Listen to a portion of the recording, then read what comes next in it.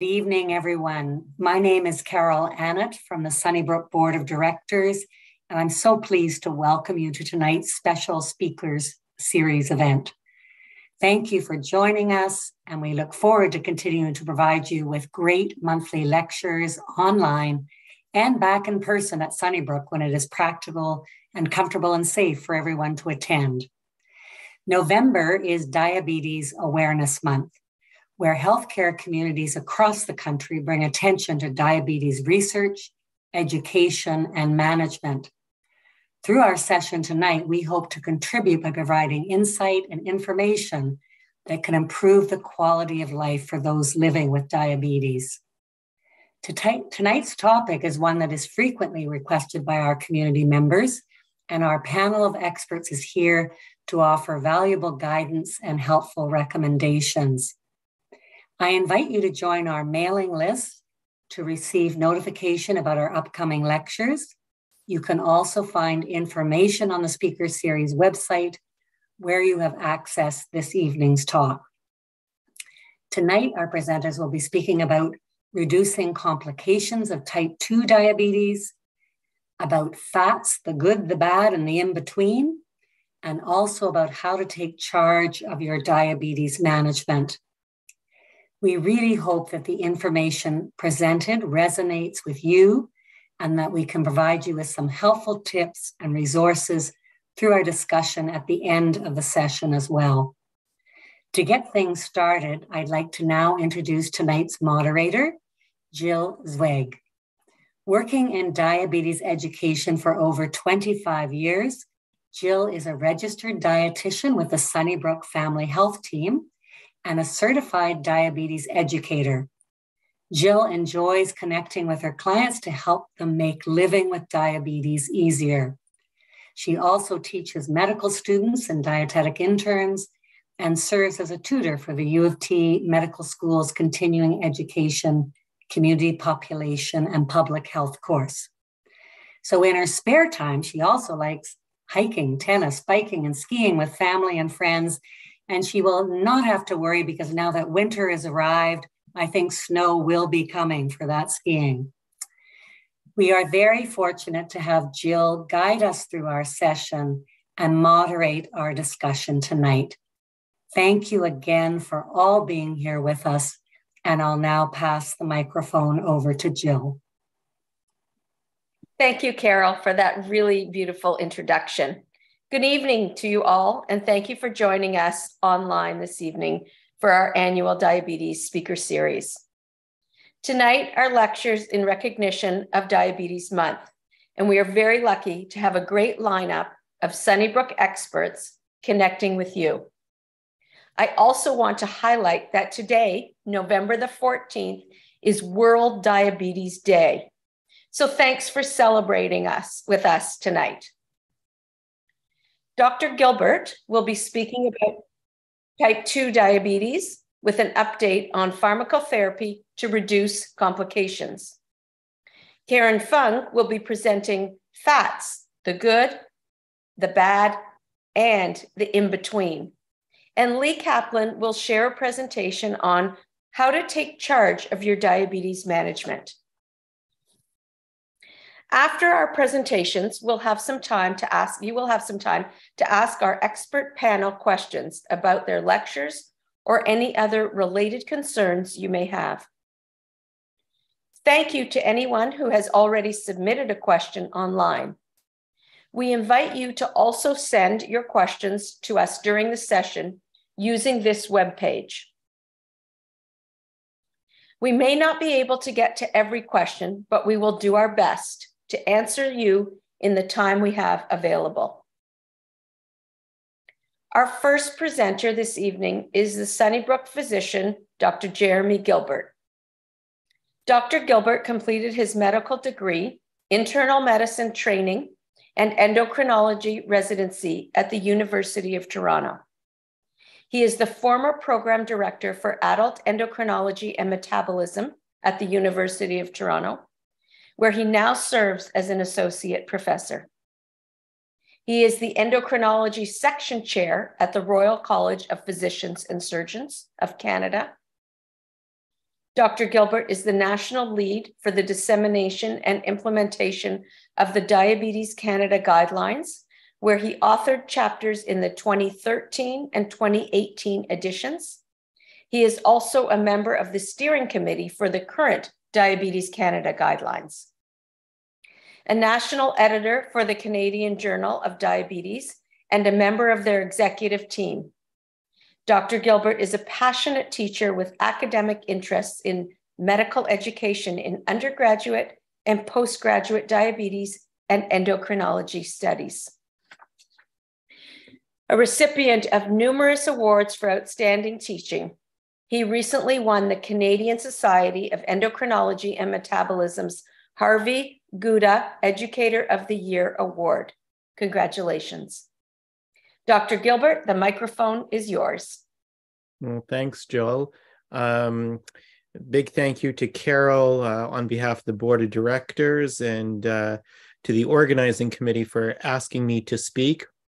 Um, I think this is my third or fourth speaker series that I've been involved with, and I always enjoy the interactivity.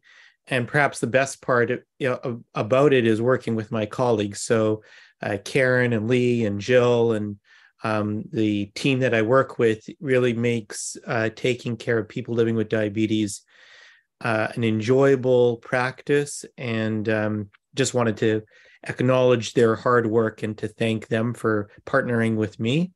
Um, and a big thank you to all of you for attending. Uh, we do hope to get one day back in person, but just for safety reasons, this is probably the safest mode for now. Um, so thank you for all for participating now and those who are going to be watching this later. So without further ado, um, obviously we treat uh, with medications people living with type 2 diabetes not for fun, not for treating a number, for, for treating the person. And that's what it's all about. And the idea behind it, again, is not to treat a number, but to ultimately reduce complications from diabetes. And so that's going to be the format of my discussion.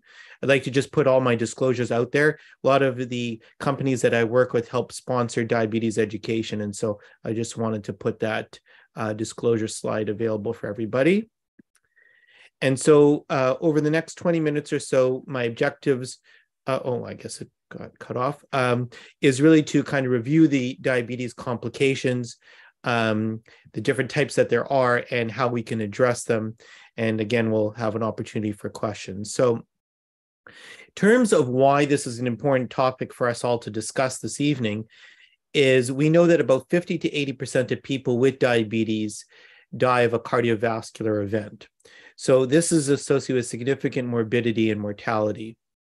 As well, the number one cause of dialysis in Canada is diabetes. So, a lot of kidney related disease. We know that diabetes is the number one reason for amputations other than trauma in Canada. Since 1998, for men and women, the number one reason that somebody with diabetes will be admitted to hospital is actually heart failure. So, heart failure is an important complication. And stroke is much more common in people with diabetes. And diabetes is the number one reason for working age adults to have blindness. So, bottom line is diabetes is a chronic condition with a lot of complications. And our objectives together um, is to try and help reduce those complications, prevent them from happening, or if they do happen, to try and make them more manageable. So, this is just to illustrate how common um, kidney disease is. And in particular, in the dark blue at the top is diabetes related kidney disease. So when you compare that to other types of kidney disease, you see that diabetes is by far more common as a contributing factor to end stage renal disease. So, what can we do to reduce the progression of diabetic kidney disease? So, one is controlling blood sugars. So, when we control blood sugars, uh, that is one of the most effective ways of reducing kidney disease. And there's a variety of ways of doing that lifestyle modification with appropriate diet and exercise. And Karen's going to give us some insight into some of the healthier fats to choose from. and as well as pharmacotherapy. So, certain medications that help lower um, sugar in a safe way. Optimizing blood pressure. So, for most people with diabetes, we aim for less than 130 over 80. And using certain medications that have been shown to slow the progression of diabetic kidney disease, like ACE inhibitors, angiotensin receptor blockers, and SGLT2 inhibitors. So, those would be three classes of medications that would be very important for kidney disease. When we talk about neuropathy, this is a very, very common complication of diabetes.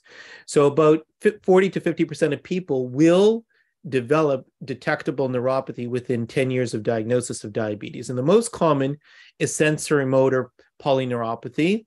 That's probably the most common. And usually that would manifest by somebody saying that they might have numbness or tingling in their feet or they don't uh, feet they they've lost sensation in their feet, those kind of symptoms. And although that neuropathy can be uh, painful, um, bothersome, uh, annoying, disruptive, what can make it even worse is that it poses a higher risk for foot ulceration and amputation. The pain can be debilitating uh, and it can affect mobility, thereby giving significant morbidity. And often people who have significant neuropathy often require a lot of healthcare resources and help, uh, which can get quite expensive. So the risk factors for neuropathy are high sugars, high triglycerides, which is a type of fat, high BMI, so that's like obesity or being overweight, smoking, and high blood pressure. So you can see that some of these risk factors can be modified. If we can lower sugar, lower triglycerides, lower weight, not smoke, and control blood pressure, that could help address neuropathy. So I show on this diagram a picture of where neuropathy is most common. And the one that I was referring to is in picture A. So most people will start complaining of something like uh, burning or numbness or tingling or something in their feet. And then it kind of spreads up what we call a glove and stocking distribution. And then it kind of descends up like that. But it's not the only type. So there's some that can be a radiculopathy. This is often uh, mimics something like sciatica, where it's kind of off the spinal cord, a nerve off the spinal cord. Or you can have one single nerve knocked off, like here there's a little nerve, or there there was a nerve, or here there was a nerve. That's what we call a mononeuropathy. And then sometimes it uh, manifests as autonomic neuropathy, which is a kind of like a whole separate set of the nervous system. And some people there may experience uh, stomach issues or bladder issues uh, as part of a neuropathy that affects the autonomic nervous system. For those who have significant pain from the neuropathy, there's certain classes of medications that we recommend. So you might uh, be started on a medication like Lyrica or gabapentin. These are some of the common ones. We do try and avoid opioids at all costs, given um, the side effects and dependency. And remember that the goal of these medications are not to solve the problem. Now, a lot of people come to me and say, you know, I'm on them, but it's still bothersome. Our goal is really just to make it more manageable. So um, it's not going to solve the problem. And I remind everybody that glycemic control, controlling the sugars, is the only disease modifying treatment. That's really the only thing that actually changes the condition itself. Now, foot care is a shared responsibility, which is again why it's important to discuss this in speaker series. Because, yeah, as a healthcare professional, I'm going to be looking at the feet and examining it and seeing if there's any issues to address. But the person who lives with diabetes lives with their feet all the time. I might see the person every three months or so, or every six months. They're living with it all the time. So they need to be screening their feet as well. Now, as I said, I'm going to, as healthcare professionals, and that includes all the people here, Karen, Jill, Leigh, myself, we all understand that this is important to screen. And when we're screening, we're looking for abnormalities in the structure of the feet, for that neuropathy that I discussed, for peripheral vascular disease or ulcerations or infection. And sometimes we will refer people on to certain professionals that are trained in the foot and, and its care. Um, but I do remind people that they should be looking at their feet as well for any abnormalities, ulcers or sores or calluses, and let their healthcare professional know if there's a concern. As we showed before in terms of risk factors, advising people to stop smoking is very, very important. And should an ulcer actually develop, often this requires a multidisciplinary team to address. So just for some pictures, not to gross people out, but just to show you, so this was somebody who had poor sensation in their feet. This is their heel, and this person stepped on a needle, and um, they didn't feel it. And the, the you know they somebody noticed that there was like a bump on their foot and didn't feel right and didn't look right and so they went for an x-ray and they found that. And so you know over the course of time there's been a lot of very interesting things that people have stepped on very unfortunately because they had poor sensation and it can be a high risk for burns and other things. So just here's some other uh, things that we've seen that people have stepped on and got uh, you know which could lead to significant infections in the feet. So uh, quite a concern.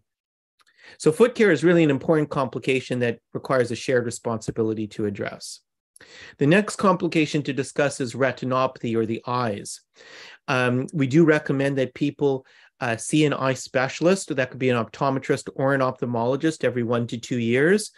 Um, now, a lot of uh, people that I see in my clinic, they'll say, Well, I don't have any problem with my vision. My vision's fine.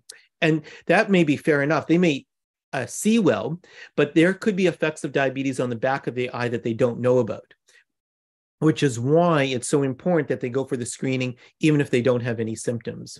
So you can see on the upper left hand corner, uh, this would be mild non-proliferative diabetic retinopathy. That's how it would be labeled um, because there are some small, tiny aneurysms that are developed at the back of the eye, but it's still in the mild to moderate stage.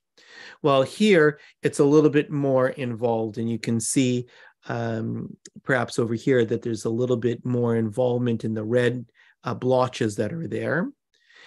Um, this is now called proliferative diabetic retinopathy, which is quite scary. That's where new vessels are being formed, and those vessels are abnormal and they can easily tear and bleed. So you can see some bleeding here at the back of the eye, uh, which could lead to significant problems.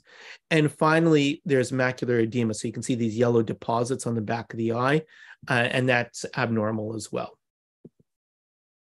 So the screening is really important. So screening can reduce the risk of blindness substantially.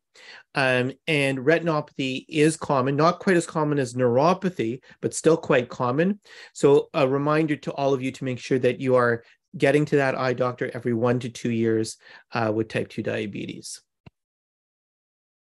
So, how do we address retinopathy? And this is from our guidelines. So, we target an A1C less than 7%. So, again, coming back to that sugar control, which is a theme you've heard already this evening, blood pressure control to target a blood pressure less than 130 over 80. And there is some evidence for certain uh, lipid lowering medications, although this is less commonly used, uh, it's also described if a person should get retinopathy, there's different treatments. So when I was a resident, the standard treatment was laser therapy to the eye, but now that's done much, much less frequently. And there's certain agents uh, that are put into the eye, injectable agents, uh, which sounds quite disturbing, but actually is not so bad, um, that help address those new vessel formations and has been fantastic uh, for people. It's really helped people's eye vision be preserved. And finally, there's certain surgeries that can be done. Now, for macrovascular disease, those are the larger vessels. So, so far we've talked about um, the kidney, we've talked about the nervous system and the eyes. Those are small vessel disease. Macrovascular disease stands for big vessels, and those would include coronary artery disease, stroke, and peripheral vascular disease. And there's a similar approach for all three. And what we talk about here is the ABCDEs of diabetes. So if you take one message away, remember your ABCDEs. A for A1C less than 7%, B for blood pressure less than 130 over 80, C for cholesterol with an LDL, bad cholesterol under 2, D for certain drugs to protect the heart, E for exercise and healthy eating. Thank you to Leigh, Karen, and Jill, and smoking cessation. So in terms of drugs to protect the heart, which was one of the uh, objectives for this evening talk, let me describe that in a little bit more detail. So, our guidelines state specifically that certain classes of agents are indicated for people living with type 2 diabetes to help reduce vascular disease. So, some of these classes include ACE inhibitors or ARBs, and that should be given to anybody with clinical cardiovascular disease, age over 55 with certain other features like protein in their urine eye disease or enlarged uh, heart, or anybody with microvascular disease. So that's kidney disease, eye disease, or nerve disease. Some of the medications you might have heard of, like perindopril or Coversyl, ramipril or Altace or telmisartan or Micardis, these are agents that have been shown to offer vascular protection. Statins like Lipitor and Crestor should are also been shown to reduce heart disease by 25 to 30% in people living with type 2 diabetes. That's been shown for people who have cardiovascular disease or just having diabetes over the age of 40, microvascular complications, like we said, or if they've had diabetes over 15 years worth of time and their age is over 30. And finally, if our Canadian lipid guidelines recommend it, then they should also be used. Now, aspirin is a little bit more controversial. So, aspirin is recommended if somebody's actually had a cardiovascular event. So, they had a heart attack, had a stroke, had an angioplasty, then we would recommend using aspirin, but we don't use it routinely if somebody has not yet had an event. Now, our Diabetes Canada guidelines do generally recommend starting with metformin, and our goal is to try to get the A1C in target within three to six months. Now, if the A1C is quite high, uh, we do adjust or advance therapy to try and get to that A1C target sooner rather than later. If people have certain established risk factors. So they have already cardiovascular disease or kidney disease or heart failure, or their age is over 60 with risk factors. There's certain classes of diabetes agents that are recommended, even if the sugars are pretty good, because these agents have been shown to reduce those complications further. So these include SGLT2 inhibitors or GLP-1 receptor agonists, um, medications like Jardiance or Farxiga or Invokana or Ozempic or Trulicity would be examples of these agents. So we do look at the population, the person who's in front of us and the outcome that we're trying to prevent, and we use these agents accordingly. Now, for those people who are not in that category, meaning they aren't in those high risk populations, but their sugars are still elevated, we still do recommend those classes of agents because they help with weight loss, which is important in type 2 diabetes, and have been shown to have cardiovascular benefit in high risk groups. So when we talk about those two classes, the SGLT2 inhibitors and the GLP-1 receptor agonists, there are some important uh, practical considerations that help us decide which ones to use. So I've shown you the classes. So on the on the far left, empagliflozin, canagliflozin, and dapagliflozin are the SG2 inhibitors. Lira, Sema, and Dula are our GLP-1 receptor agonists. These are generally injectable, and those are oral agents. And these injectable therapies, like semaglutide or dulaglutide, that's Ozempic and Trulicity, can be given once a week. Uh, we dose them, as you can see here. Uh, generally, we start at a lower dose and titrate up for the injectable therapies.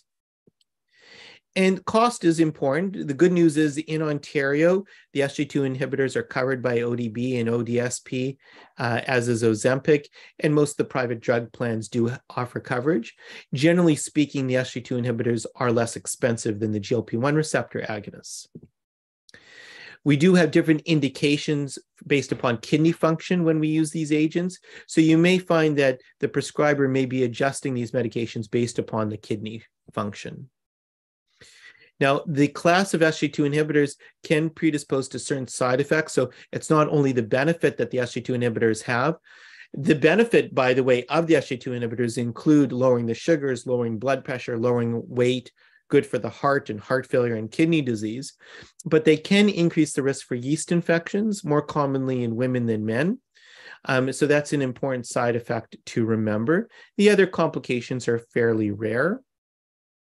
With the GLP 1 receptor agonist, the most common side effect would be nausea, vomiting, and diarrhea, which, um, when you use the agents at a low dose and titrate them up slowly can give you less side effects. They don't cause very low sugars like insulin does. There's some rare cases of gallstone disease, some concerns about pancreatitis, but the reality is we actually haven't seen an actual cause and effect of these agents causing pancreatitis. Uh, we don't use them if they have medullary thyroid cancer, but they can be used for other types of thyroid cancer if present. As we've never seen GLP 1 receptor agonists causing medullary thyroid cancer in humans, only in rodents. So, as long as you're human, you should be okay. There was some concerns about eye disease, but that was generally in those people who had a very rapid A1C lowering. And we don't really do that because we titrate the dose slowly. One of the nice things about the GLP 1 receptor agonist is the weight loss that can occur, very important to reduce insulin resistance in type 2 diabetes. And some people ask me, you know, is it from all that GI upset that causes it? And no, no, it's not. Even in people who don't have the stomach upset, it works centrally on the brain to suppress appetite. So people aren't as hungry, and that's why they lose weight. So, to summarize, there's a lot of complications of diabetes, but the good news is there's something that can be done. Now, we can't modify things that we can't change. You can't change your genetics, who your parents are, your age. So don't focus on that. Focus on what we can modify, things like smoking cessation, healthy diet, exercise, and taking agents and medications that have been shown to reduce vascular disease. There are strategies that are available to help reduce risk. Speak to your healthcare team, and I use that word liberally. It's a team work uh, as you can see this evening. And there's many things you can do, right? So ensuring that your foot is looked after, making sure you go for eye exams, getting your uh, blood work done, urine tests, monitoring sugars when appropriate, the lifestyle changes that Karen and Leigh are going to discuss with you, and taking the appropriate medications.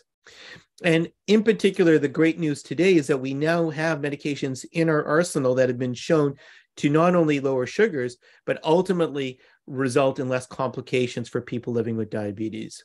And with that, I thank you for your attention, and I'm going to turn it back to Joe. I put up this quote by my good friend Hertzel Gerstein, who's um, an endocrinologist and the division head at McMaster. And I love what he says because he says neither evidence nor clinical judgment alone is sufficient, right? So, it, it, you know, hearing what I've said today, I hope to be evidence based, but evidence without any judgment can be applied by a robot or a technician. Now, judgment without any evidence can be applied by a friend or when you Google something. What we hope is the integration of evidence and judgment together is what the healthcare provider does to give you the best clinical care. So hopefully um, that's what you've gleaned from this evening. And uh, as I said, I'm happy to uh, take any questions uh, at the end. Thank you, Jeremy, for an excellent talk. Um, I really liked how you talked about sort of medication, early screening, and those are just some of the tools, along with what Leigh and Karen are going to talk about in terms of lifestyle, to help prevent um, complications and if they catch them early and treat them appropriately by a combination of all the tools that we need to manage diabetes successfully. So, thank you very much. Um, I'd now like to introduce our next speaker, and that's uh, Karen, Karen Fung. Karen is a registered dietitian and certified diabetes educator with the Sunnybrook Academic Family Health Team and SUNDEC, which stands for Sunnybrook Diabetes Education Center. Her focus is to provide practical nutrition information to the outpatient community setting with particular interests in diabetes, weight management, and elderly nutrition. Being bilingual, Karen is also passionate about advocating for patient health and education in the Chinese communities of Toronto and the GTA. Karen completed her studies in dietetics at McGill University and also holds a Bachelor of Medical Sciences degree from Western University. Outside of work, she enjoys experimenting with food and we know she loves coffee. Over to you, Karen. Thanks for the introduction, Jill. Uh, very quickly going to just share my screen here. All right, so today I wanted to take this time to shift the focus kind of in, in, succession to what Dr. Gilbert was mentioning around the complications. We're talking about the macrovascular complications and what we can do about it dietary wise. So today um, also uh, I sort of wanted to discuss this a little bit more because there was an update in the lipid guidelines in the last year. And uh, I thought it was a great uh, time to shift our focus away from uh, carbohydrates and and you know being on very very very low carbohydrate diets and into talking about fats and the current nutrition recommendations around keeping our hearts and bodies healthy while managing our diabetes. And so by the end of the session, I'm hoping that you'll be able to identify all the nutrients that are important in uh, managing cardiovascular health, understand how the recent food trends can impact the management of diabetes and cardiovascular uh, health, and also choose some foods that are beneficial for your heart health and diabetes management in a way that fits your own lifestyle. So I want you to think about these two different menus or breakfasts and uh, consider which one you would choose, and in particular, more importantly, which one you think is healthier and why. What nutrients is it that we're more concerned about? Why are they healthy for us? What maybe risks they're bringing to our health? And so keep this in mind because I think I'm going to hit a couple of the, the pointers that you're, you're considering and some of the um, factors that you're, you're thinking about right now. So in combination to what Dr. Gilbert had mentioned to us, we really are concerned about uh, the risk factors and, and the um, complications of diabetes. And heart disease is, is a really major one, as was highlighted. And so I wanted to just uh, review a little bit about the heart disease and its relation to cholesterol and why we should care. So on the left, we see a, a, very healthy artery where the blood is flowing very nicely and very well without any uh, um, obstructions and, and, and distractions. And then on the right side, we have our artery where there's plaque forming on the side. And this is uh, done, or the process of this is called uh, atherosclerosis. And what really contributes to this is um, certain molecules, which we've also heard about from Dr. Gilbert's uh, discussion, which is LDL uh, cholesterol, which is our bad cholesterol. And when these levels are very high in our bloodstream, they can infiltrate the side of our vessels and they can form these plaques, which end up causing a little bit more of a narrowing in our arteries. Um, and it can affect our blood flow, which can raise our blood pressure. And the more dangerous side of things is when our heart is pumping very uh, hard to try and push the blood through, bits of these can break off and, and end up stuck in our smaller vessels, which uh, fuel our heart and our brain, which can then lead to things like stroke and, and heart attacks, which are the things that we want to avoid, the complications, the macrovascular complications of diabetes. Another molecule I wanted to introduce also is the HDL, which is the good cholesterol. And what these really do is they recycle and kind of regulate the LDL in our bloodstream, the bad cholesterol. So they don't spend as much time in the bloodstream to cause that infiltration and potentially that damage to our blood vessels. So these are two molecules I want you to um, consider when we're about to jump into talking about fats. Fats, we now know there's many different types. There's um, fats that we want to be careful of and fats that we want to be um, maybe consuming a little bit more. So the three major types are trans fats, saturated fats, and unsaturated fats. Trans fats uh, are sort of the fats that we want to be really careful about eliminating and definitely limiting to very small amounts. The reason being they raise our LDL, that bad cholesterol that infiltrates the side of our blood vessels and cause those plaque buildups, and they lower our HDL, our good cholesterol, that's supposed to help regulate the LDL in our bloodstream. Trans fats are often found in hydrogenated vegetable oil, oils, fast foods, pastries, and desserts, as well as deep fried foods. So we definitely want to be careful how much of these foods we're consuming and how often.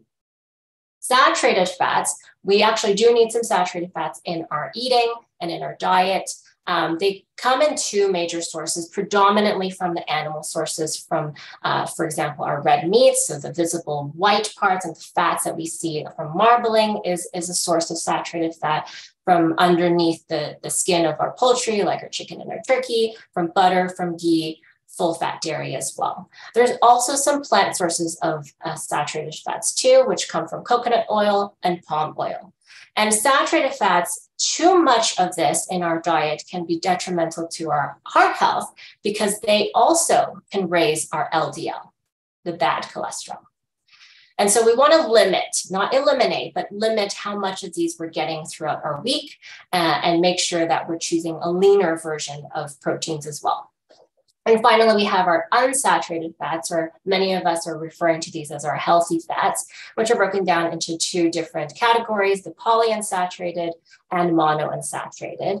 And really it's just a distinction between how many kinks or bends there are in the structure of, of the uh, fatty acid, but both are really helpful in lowering the LDL now. So our unsaturated fats are lowering um, the, the molecule that uh, would sort of cause a little bit more damage in that heart healthy picture.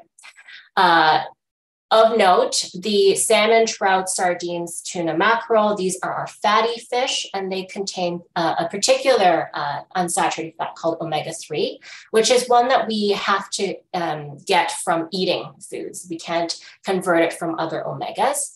And also, our plant versions of these omegas are flax seeds, chia seeds, and hemp seeds. Um, monounsaturated fats, uh, we can find these in our olive oils, canola oils, uh, and olives as well. Avocados, avocado oils, our nuts and seeds, and their oils and uh, nut butters and seed butters. So unsaturated fats or healthy fats we want to have and include regularly because they help lower our LDL. Saturated fats we want to limit, uh, not have too much, but have small amounts um, as they too much of it can raise our LDL, and then trans fats we really want to eliminate as much as possible because they raise our LDL and they lower our HDL, our good cholesterol. But there is some good news. The good news is that um, trans fats has actually been removed from our supply, our, our food supply, as of September 2020. Um, it was an initiative that had started in 2017 and started phasing in where uh, artificial or industrial manufactured trans fats are uh, banned from the, the from being imported into Canada and being made within the, the Canadian um, food industry. So by September 2020, there are actually no more uh, artificially made trans fats in our food, which is one less thing to think about, but it's helpful to understand why that came into play. I feel like we can't talk about managing diabetes, managing uh, heart health, and, and, and uh, talking about fats and nutrition without discussing keto very quickly. It's been very popular for many people to uh, talk about keto or to think about keto because they are very effective in lowering blood sugar. Okay, you're essentially dropping uh, a lot of the carbohydrates that you're uh, taking in, and so your blood sugars would drop as well. But many people find it really difficult to stay on keto, and as a result, then your blood sugars can also bump back up and increase back again. So, you know, something to consider: how long are you able to to keep certain um, uh, lifestyle uh, choices in play. Uh, one thing to mention about keto is actually 85% of the calories in a ketogenic diet would come from fats, and only 15% would come from proteins. And then, of course, very little, less than 1% from carbohydrates. But many people were actually adopting a, an alternate version of keto and something more like Atkins, where they were consuming more foods, uh, more calories from proteins, more like 20 to 30% calorie from protein, and then a little bit less in fat. And the, the problem with this was that people who would do this would end up eating more of the animal proteins, so meats, uh, red meats, uh, chicken, of course, and, and other animal sources of protein, which led to higher uh, intake of the saturated fats, the ones that would raise our LDL. So it's sort of um, more detrimental around our cardiovascular health, right? We might not be considering that. Um, so, if keto is something of discussion or you're curious about it, definitely seek some advice from a, health professional. Um, of course, being biased as a dietitian, you know, do seek some help or some advice uh, from a dietitian or nutritionist, and um, considering that the types of fats that we want to include if we are interested in, in more keto or lower carb diets would be from uh, healthy fats, as I discussed before. We are not suggesting that we go uh, on a low carb diet at all because there are many side effects uh, that might be considered, but of course, I want to give that information out there. Constipation is one. We're essentially removing a lot of fibers from our food by not having any fruits, which is a major source of carbohydrates, not having whole grains, another major source of uh, fiber, uh, as well as legumes, and some vegetables uh, need to be sort of looked at in terms of the amount. Preference, you know, not everybody likes to have lots of uh, fat um, um, from uh, their diet, right? And also uh, medications really need to be looked at because people living with diabetes might be on certain medications that have a, a low blood sugar risk or a hypoglycemia risk. So does need to, uh, we do need to take good care if we are uh, thinking about this type of eating. I also wanted to take some time to talk about dairy because that's always a question that's asked, you know, what about it? We the reason that is is because the fats in dairy products are saturated. So are we supposed to have them and should we have them? One thing i like to highlight is that dairy is a very important source of calcium and they are a source of protein.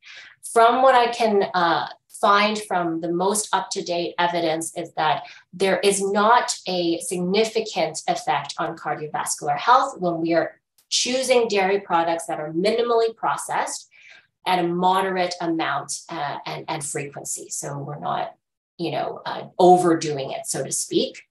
Um, and there may be some suggestions around reducing the risk of developing type 2 diabetes, in particular with two types of products of dairy, which is the low fat milk and the yogurt. So the, the evidence is still a little bit um, we still need to look more into it, but certainly there's some theories around why this might happen. When we might be using less refined carbohydrates uh, when we're choosing more of the dairy products um, and potentially having more protein.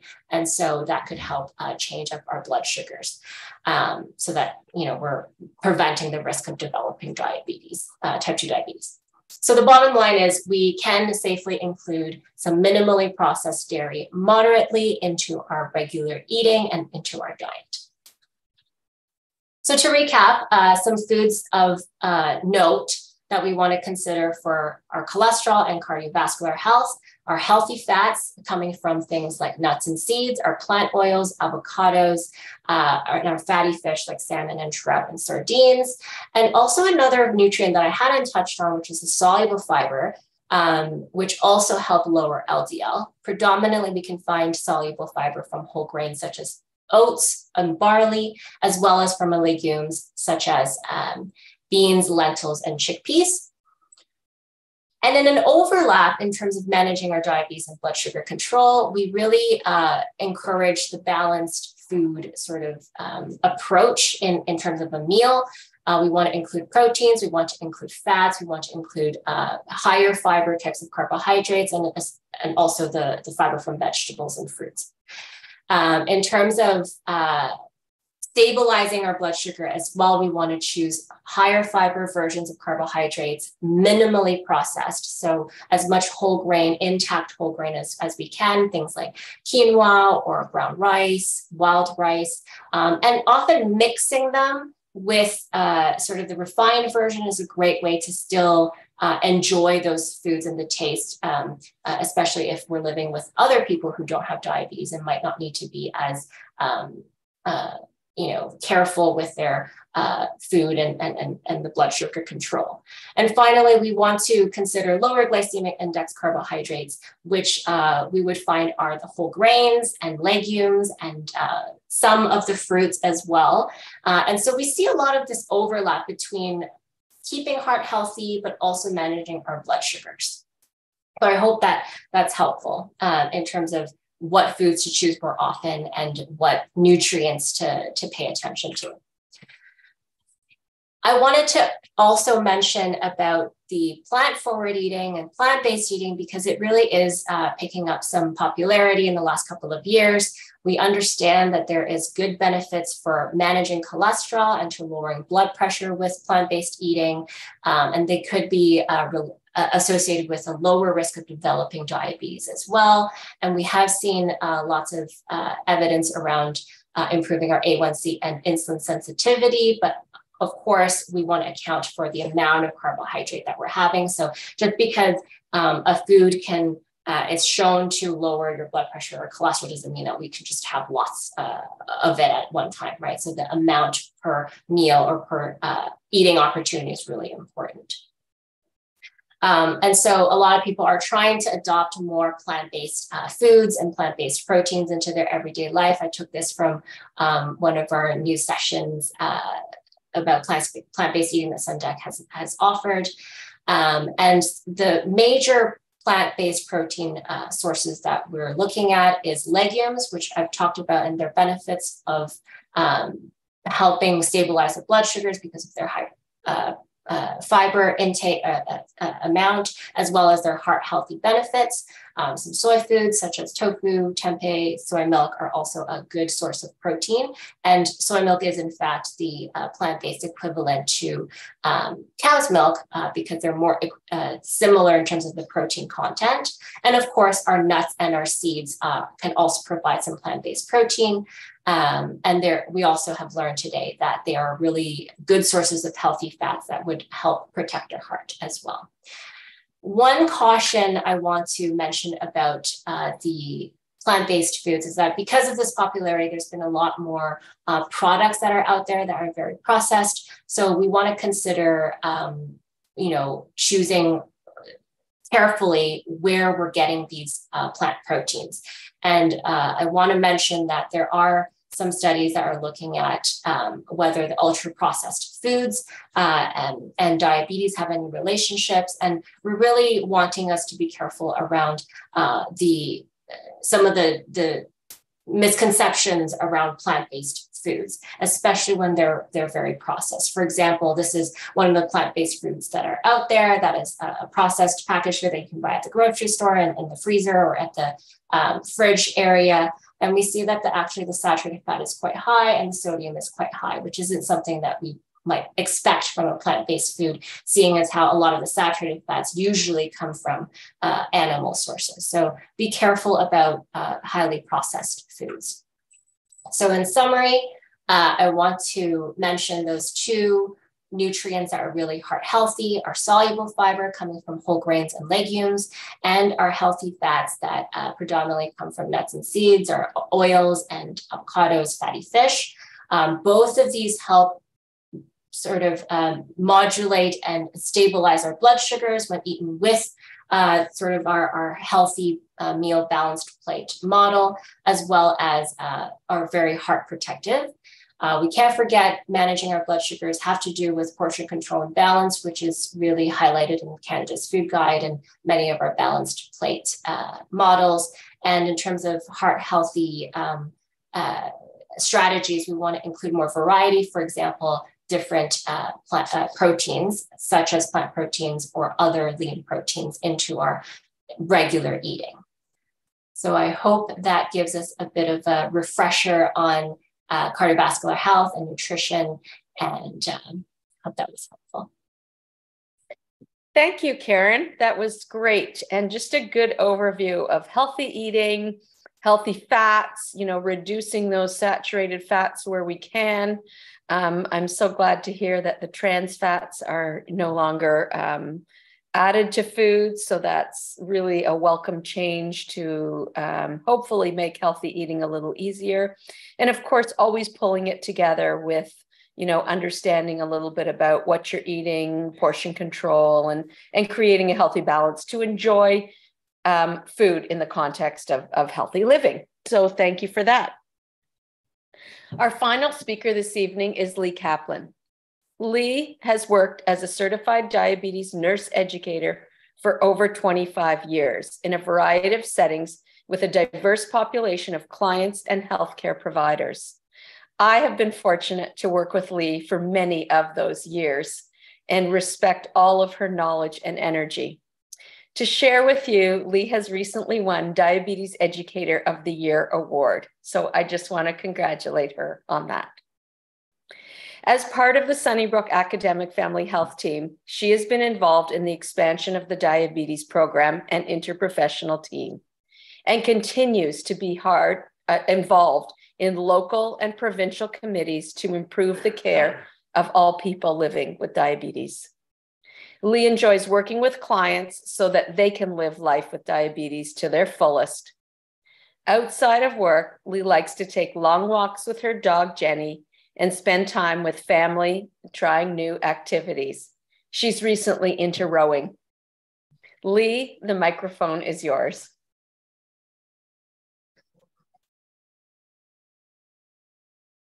Thanks, Jill. Um, so, uh, good evening, everyone.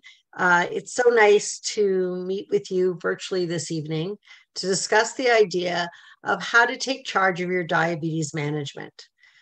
And you've heard a lot of information today, and it's sort of how do you take that information?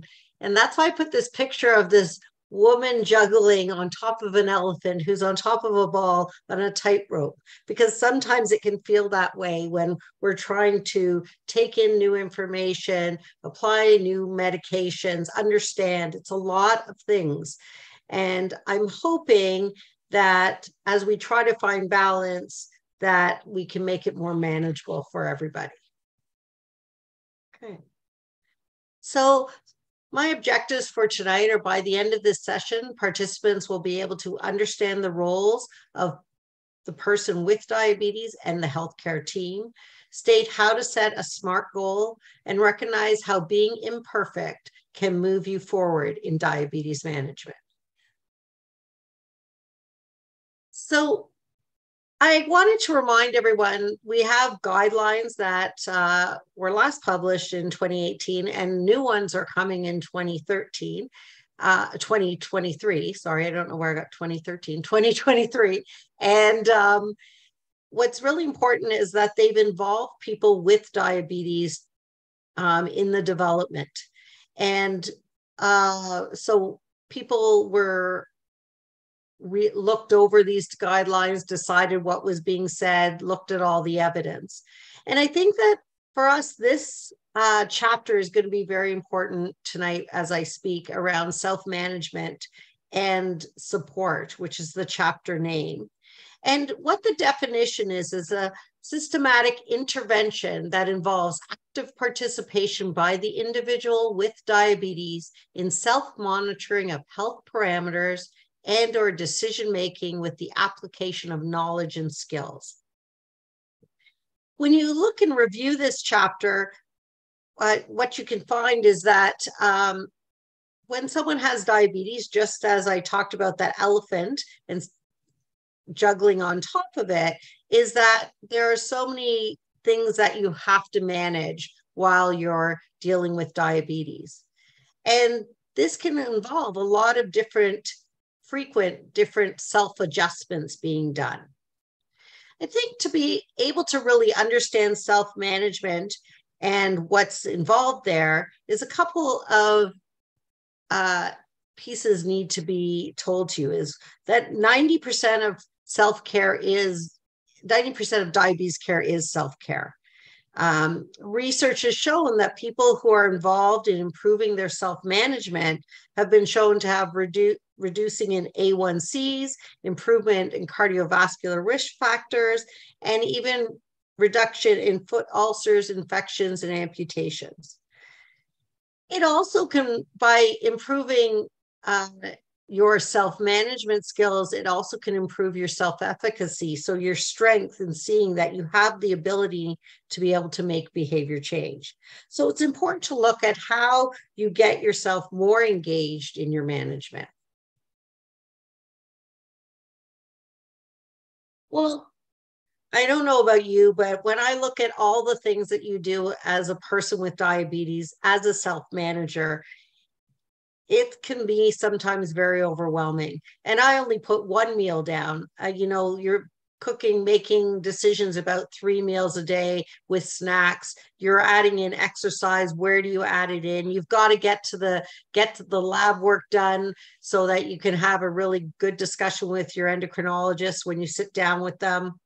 You need to, as Dr. Gilbert talked about, is taking care of your feet. Besides, when the um, your healthcare provider might do that. Sorry, I don't know. I went out of Sorry about that. Go back in.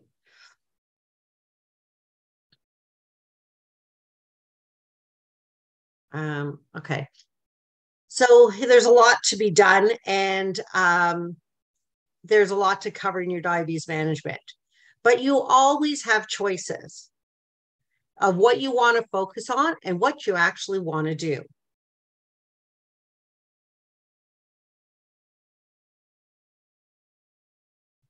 So, as um, there is a book called The Art of Empowerment, written by some diabetes educators called Martha Martha Funnell and Bob Anderson, and they looked at these choices. And what I've heard Martha Funnell speak, and she says you have you can be an engaged self manager, or you can choose to sit on the couch and do nothing. What you need to know is whatever choice you choose is what you need to remember is that you live with the consequences of your choice. So, the first thing I'd like to debunk is that perfection, it's overrated. Um, it's especially hard to thrive for perfection in managing a chronic condition such as diabetes. The problem is trying to achieve perfection is either impossible or impossible to continue. I would suggest that you might want to consider looking at it as progress versus perfection. I always think of the game of perfection as a kid, where you were put on a timer and you had to put these pieces in. And then if the pieces, if the timer went off and all the pieces weren't in, they would explode into the air. And it was like um, everything was out of control. And sometimes that can, when you're striving for perfection, that's what it can feel like with diabetes management. So, where do we go? And what do, if we're not going to look at perfection, when when we're thinking about our management what should we consider how do we move ourselves forward someone in my world suggested looking for your purpose versus your perfection no this doesn't make it easier since sometimes you're not sure what your purpose is in managing your diabetes. And people get stuck with the planning of their purpose and can't get over that planning stage to be able to do it.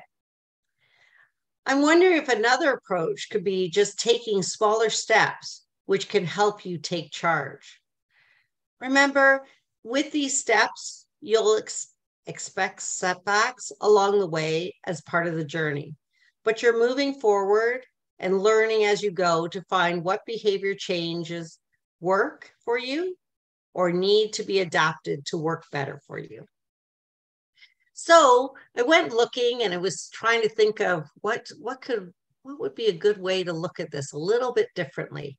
And I thought this might resonate with some of you. So another option for managing your diabetes, which I'm going to introduce you to is the plan, do, check, and adjust cycle, which has been used a lot in industry. It's used in healthcare. Um, the PDCA cycle is used for quality and continuous improvement. So when reading up on this cycle, it said you should it should be used when you want to start a new improvement project. So I thought, what better project than improving your diabetes management skills? So you would plan, recognize the opportunity, and plan for change. The idea of a plan is that you plan and then you move into doing. You don't want to just stay in the planning stage. Once you you have the plan, you break it down into few small steps, such as a SMART goal, which we're going to talk about in a minute. And then you would go and you would test it, see how that works, and do a check in in one to two weeks to and analyze the data that you got and identify what you learned. So, for example, say you were actually you know, you decided to exercise seven days a week and you found you exercised only two because life was busy, life got in the way. So you've done the activity, you now check and you make an adjustment. So maybe it's three times a week for 15 minutes, but it fits now into your life. And there's so many other behavioral changes that we could make work for this. So if we're going to make a plan, I think one of the a very good way to start is with a SMART goal. And I would say that using the the SMART uh, goal algorithm here, we're going to look at it, and I've written one on the side. We want the SMART, the the S of the SMART is going to be specific. we're looking at making it as specific as possible so that it actually works for you. And the tendency is sometimes we'll say, Oh, I want to get healthy. Well, there's no behavior with that. And with a goal, with a SMART goal, we want it to have a behavior to it. We want it to be measurable. The more measurable, the better, that we actually have a specific what we're going to do, when we're going to do it, and for how long. And making it achievable. It's a bonus if you get a couple extra um, walks in in a week if you're only walking three times a week but it allows you to uh, you've definitely met your goal. It's been realistic. And when we're talking goals we don't want to go past one to two weeks because they get too far away from us. So the one that i've written down here is i will eat half a plate of vegetables at dinner three times picking the days, even more specific, Monday, Thursday, and Sunday for the next week. What I bolded here was the word will. The tendency sometimes is to say, I will try. And if you have to try, it's probably not realistic. So it might be taking a little bit, maybe one night out if it was looking at vegetables, or, um, you know, maybe it's a third of a plate because it can't get to half yet. Um, so there's many ways that you can adapt it. Once you've got it, then I say to you, once you've say it out loud, say it out loud to a friend, write it down on a piece of paper. It becomes more doable. You've said it, you've heard your commitment, someone else has heard you do that. So that can be our plan. And now we need to go into our doing. So I just want to share with you that sometimes where do I write this down? How do I find a place to put it on? And Diabetes Canada has a few tools in their uh, resource list at their website. And one of them is actually this tool that is, you can write down the goals you have. And we talked about making them specific. So you can see that exercising, walking for 30 minutes three times a week eating healthy, replacing regular snacks with vegetables three days a week. So you see the specifics. And they even have it where they've decided to even make it more specific to the actual time of day that they're doing it. This is a great tool that's available to everybody. Sometimes, you know, we already talked, we had an idea, we wanted to change our exercise or we wanted to add in vegetables. Um, sometimes we're two ways about a decision about making a behavior change, and that can be challenging. So this is a, called a decision balance chart. And what it does is it takes you through the pros and the cons of making a behavior change. And it's really nice because it makes you look at what's the what's the pro of staying the same? Because sometimes what you'll find is you might not want to, this behavior might not be what you want to change. And this can really help you move to realize you don't want to change or that this is actually a place that really makes sense. But it can help you work through those uh, pros and cons of making a behavior change. So now that we've talked about how we might make a behavior change and all that information that Dr. Gilbert gave you and Karen gave you, you might be seeing some things that you could set in a goal. Now, I want to talk a little bit about your diabetes team and how you might want to involve them in your care. And as you see, Dr. Gilbert's right central in as an endocrinologist that could be a very important person as part of your team and there might be some people I haven't even mentioned on your team. One thing is, is if you're seeing someone and they know you have diabetes, you're probably seeing them for your diabetes. But there is a lot of healthcare providers you might need to tell them that you have diabetes. So it might be your dentist might need to know a little bit more about that. Um, your your eye doctor when you get your glasses checks might need to know a little bit more. So involving them in your care and making it a team that works for you. You can see here we have the dietitian. So um, there's dietitians, there's exercise physiologists, there might be a social worker. Emotional health is you know, very important to having balance and being able to make behavior change. But remember, who you put on your team is your choice. So, what would these people do for being on your team? And in this little cloud that I've uh, set up, is that there's all these different things. They could be listening to you, they could be offering you support um, through education, just like you're learning tonight. They might offer you even past just the education, but the application of it by meeting one on one with the dietitian. You might also want to, um, you know, talk about uh, your foot care with your family doctor. And then, as Dr. Gilbert said, you might be referred to someone because you're having trouble cutting your nails. So that could be very uh, timely and might be supportive for you in getting better management but there's a lot of people that can teach you new information, new skills, and you know those checkups. And what can be really helpful there is that checkup is quite important when you meet with your family doctor, your endocrinologist, because they're really when you do your lab work, you're doing a check-in and all those self-management skills you have been using how are they working? Okay so you did some work you did you did the activity you learned from it you sat down with your healthcare team and they said well there might be some adjustments you checked it and you're adjusting to go through for the next 3 months. Other other things that might be involved is even stress management uh, having pilates classes. There's a lot of different people who might be on your team. This slide, I just, you know, we talked about meeting with your team. We talked about the role of a as a self manager and coming up with a purpose and an, a plan and moving forward and doing it. It's not a straight line to success.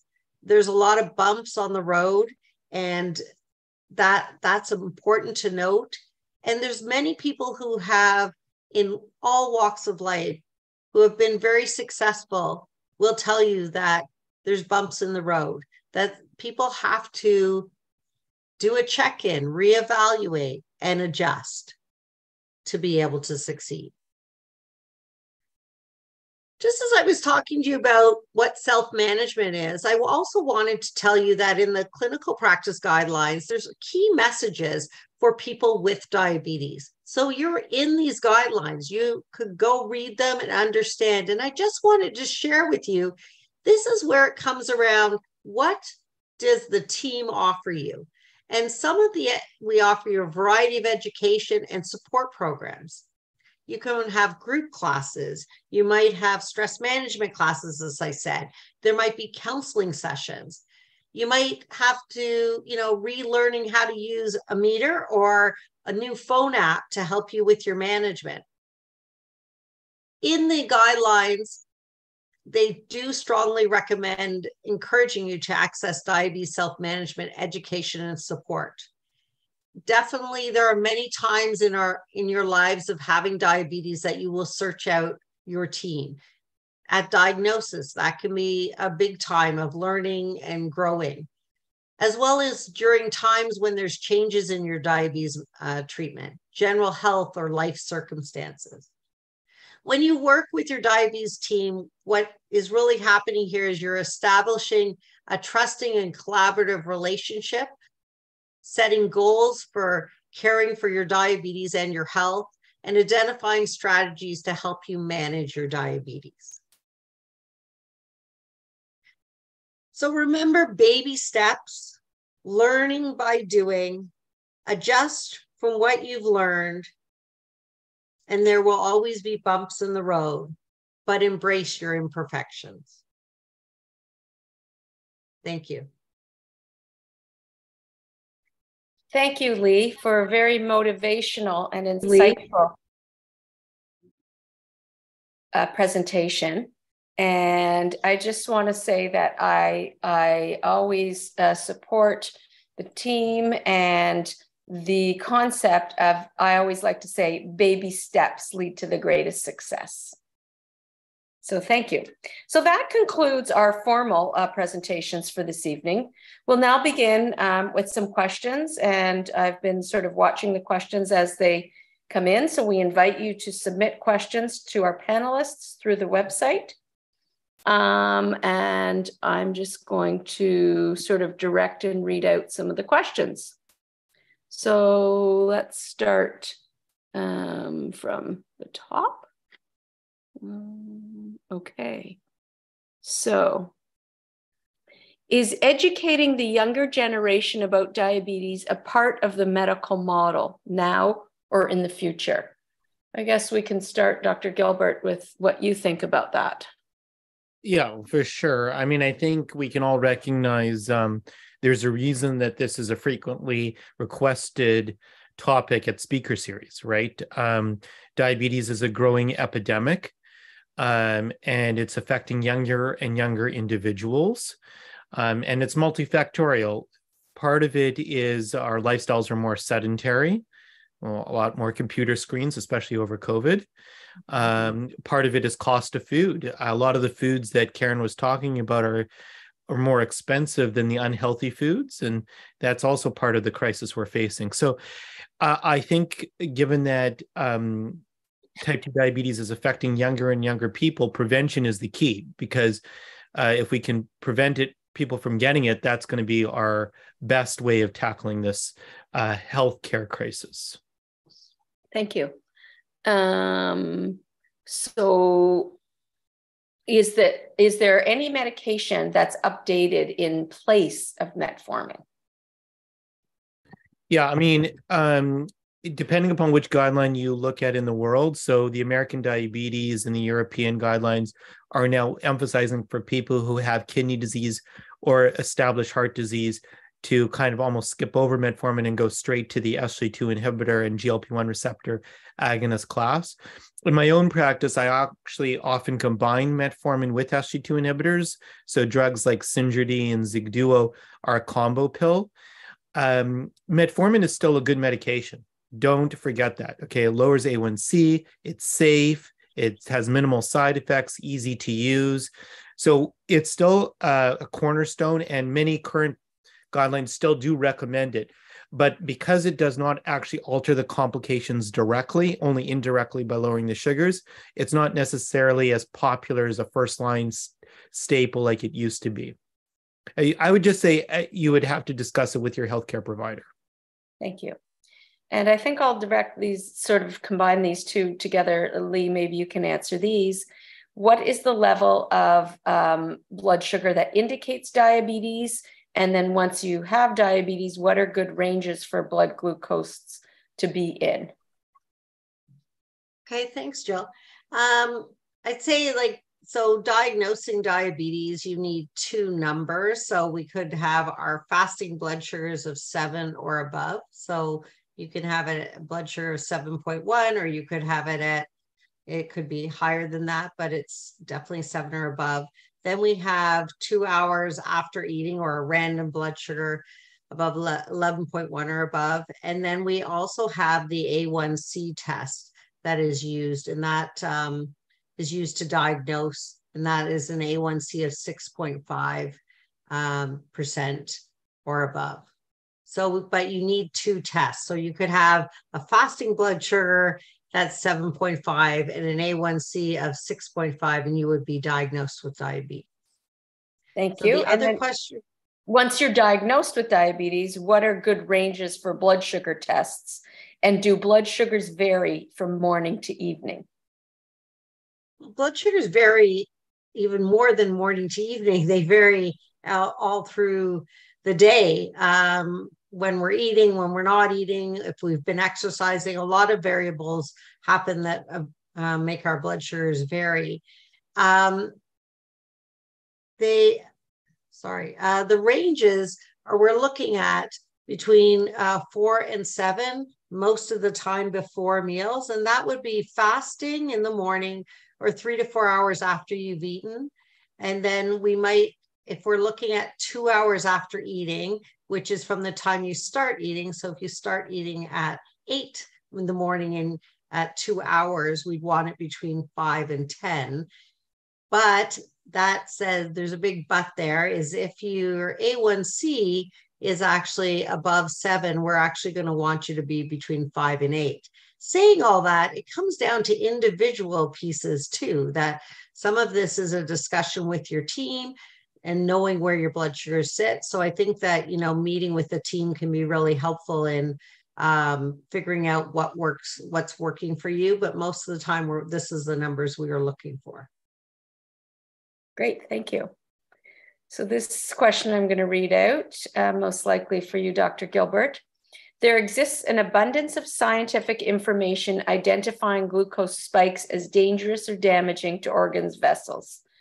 Um, what magnitude of postprandial glucose spikes from baseline pre-meal is considered dangerous? Two millimoles, three millimoles? Yeah, so it's a great question. Um, what we do know is that chronically high sugars lead to complications. I, I showed that throughout my talk. Um, but it's a, a, fair point and an insightful observation by one of our participants to note that glycemic spikes have also do that. And um, what we've what we can kind of say is that glycemic variability, uh, highs and lows and yo-yoing and spiking uh, independent of the A1C itself, has been shown now to lead to complications. In terms of the acceptable values, I would reiterate what Leigh said. So, what we're aiming for is pre meals of sugars of four to seven, and two hours after a meal under 10. So, that would be kind of the acceptable rise in millimoles per liter of glucose. Great, thank you. Um, and I think we've sort of answered this question: what to do, what to do to delay taking medication if you have pre-diabetes. Yeah. So great question. And uh, again, great idea, right? So if there's pre-diabetes, that means they're not diabetes yet by definition. And so what can we do to d- delay the, perhaps the onset or prevent it completely? The greatest evidence comes from a trial called the Diabetes Protection Program, which was conducted in the United States in people with prediabetes or impaired glucose tolerance. And they randomized people to metformin, which we just discussed, versus lifestyle modification, which we just discussed. And they wanted to know which one would prevent diabetes better. Good news was metformin reduced the development of type 2 diabetes by 31%, which is awesome but lifestyle modification reduced it by 59%. So if you had to pick one thing to do with prediabetes, the most important thing to uh, employ is what Leigh and Karen talked about rather than what I talked about. Um, and that's really a focus on lifestyle modification. So, in that study, that involved 30 minutes of exercise five days a week, um, improved uh, dietary choices, a weight loss of about five to 10%. So, uh, lifestyle modification is the key. Sometimes that is difficult to accomplish, and medications like metformin could be also beneficial, as I just mentioned. Um, but the focus in prediabetes should still be on reducing complications in a variety of different ways and lifestyle modification. Thank you. Karen, here's a couple of questions for you. There is a growing body of science supporting that fat consumption and fat and hence fat accumulation in our human cells and organs is the root cause of insulin resistance. While fat intake will not hmm. spike glucose after eating, it aggravates the root cause of type 2 diabetes, being insulin resistance. Hence, many studies have started to support the view that greatly reducing your fat intake, so plant and animal sources, notably increases your insulin sensitivity. Can you comment on this? Yeah, I think that's a great question. Um, I think ultimately we have to understand that fat accumulation or how our body processes the different sources of energy uh, is very different and complicated. So it's really challenging to say that if you eat more fat, then you accumulate more fat because I don't think that's how it works. It's not how it works. So um, that being said, insulin resistance is definitely something that can impact our blood sugars and therefore our diabetes control. And we would say that um, actually doing more physical activity can be helpful in reducing the insulin resistance, as well as having a more balanced, right? Not just fats. I know I talked about fats today, but certainly want to still include other sources of our energy like carbohydrates and, and proteins and vegetables uh, into our, our meals and into our eating so that we don't have that, you know, spike and um, uh, sort of uh, difficulty managing our blood sugars when we are also dealing with insulin resistance. So I hope that helps. Another question for you, Karen. Can you give some examples of sort of uh, bad foods, like highly processed uh, foods, dairy, ultra processed plant based foods?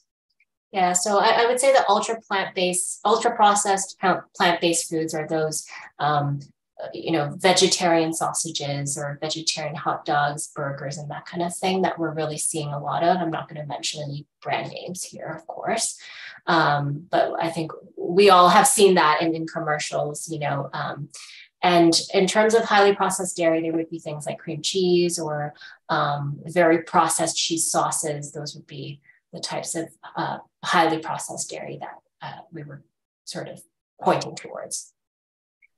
And another question for you is you talked about canned tuna and salmon. Is that a healthy choice? And how many times a week would you suggest eating canned fish for a healthy um, diet and omega 3s? So, the concern with canned items, especially canned fish, is the amount of sodium which can, if we are consuming too much, that can raise our blood pressure um, significantly. And so we want to maybe choose some uh, lower uh, sodium versions, which do exist. Unfortunately, they never go on sale. Um, so it's challenging if we're also working with the food budget. So if we can't get the un- lower sodium um, uh, versions of canned fish, then we might consider once a week because of the high sodium intake of the canned fish. Um, but if we can choose the lower sodium versions, which are quite safe in terms of the amount of sodium, then we could actually potentially have it two, three times in the week very safely. Great. Um, Dr. Gilbert, how do you decide when a family doctor is good enough to manage diabetes or when an endocrinologist is needed? Um, this particular question is uh, challenging because um, someone's struggling with their blood sugars, they're 9 to 14, and an 88 year old senior. Um, and the only treatment option, sort of that's next in line, it looks like, is insulin. And does that mean it's time for an endocrinologist? Yeah, so it's a great question and lots of points there. I would say, first of all, that um, about approximately one in every 10 people in the province of Ontario has diabetes. And we have about 100 to 150 endocrinologists in the province.